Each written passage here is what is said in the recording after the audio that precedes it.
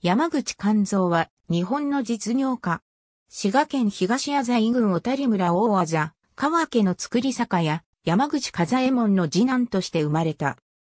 元今居留民会長、服部富蔵君、西川泰次郎編纂、世界史の中の1億人の昭和史ロシア革命、大正デモクラシー毎日新聞社館によれば、1900年、服部富蔵は、親戚の山口家次男、山口菅さんを預かり、服部商店内で、菅さんを含めた5人の日本の若者への海外版、松下村塾とも言える教育が始まった。この時菅さんは16歳であった。日中は、服部商店で仕事を通じて、貿易と商売を学び、夜は夕食後8時から深夜12時まで、連日主人、服部富蔵が、直々に、菅さんと5人の若者にロシア語と、ロシア情勢について、教育を行った。そして折に触れて、吉田松陰の思想を教えたという。中でも、筆頭格の山口菅さんは、成長期の4年間、ロシア料理で堂々たる体育となり流暢なロシア語を身につけ、アジア系ロシア人のようにたくましく成長していた。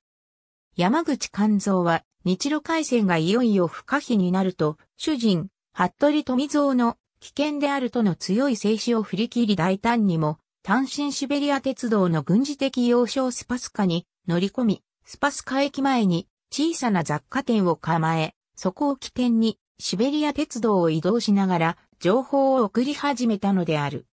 1904年2月6日、ウラジオ川上貿易事務官より引き上げ命令書が来て、山口菅さんは、居留民会長をしていた、主人、服部富蔵と一旦日本へ戻ることになる。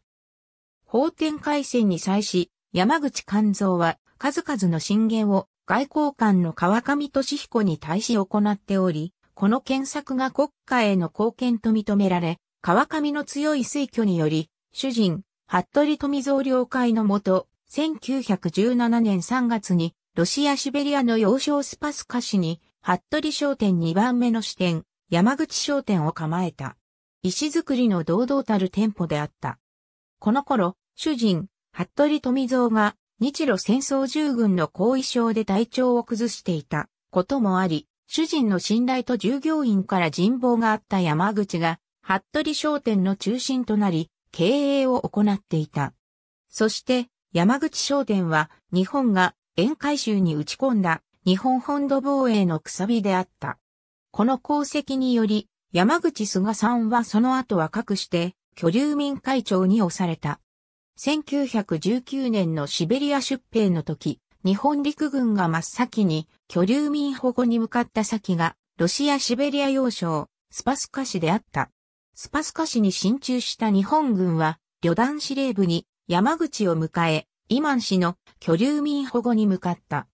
山口勘三は、主人、服部富蔵救援のため、日本軍主力部隊に同行、現地白系ロシア軍との交渉役を果たしながら、日本軍の進路を確保し、服部商店本店がある、イマン入場の大役を無事果たし、服部富蔵も、イマン氏の法人を率い全員無事避難した。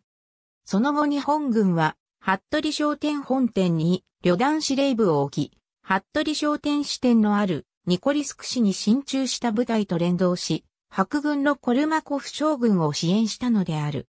しかし、その後、コルマコフ将軍の戦死により、赤軍が勢いを増しに港事件も発生、仏上騒然とする中、1921年12月、最後の日本軍撤退とともに、服部商店と山口商店は、そのロシアでの歴史と役目を終えることになる。服部商店の働きについては、後年陸軍大将となった明石元次郎が当時自分が関与していた欧州に比べ、極東には日本人の強力な情報網が存在し、自分も含め多くの軍人が支援を受けていた。彼らが組織的かつ迅速に行動していた姿は驚きであったと述回していたことからも、服部商店が居留民の中心として特筆すべき活動をしていたことがわかる。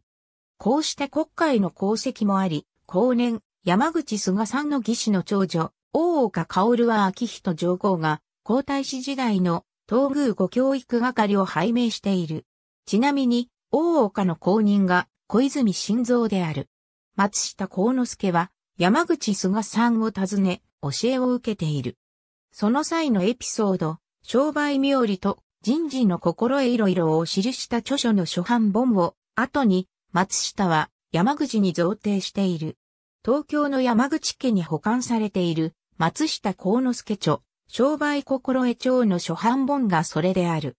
さらに山口菅さんは自身が服部商店、海外版、松下村塾で学んだ教育内容を伝え、松下幸之助は大いに感銘し共感したという。ありがとうございます。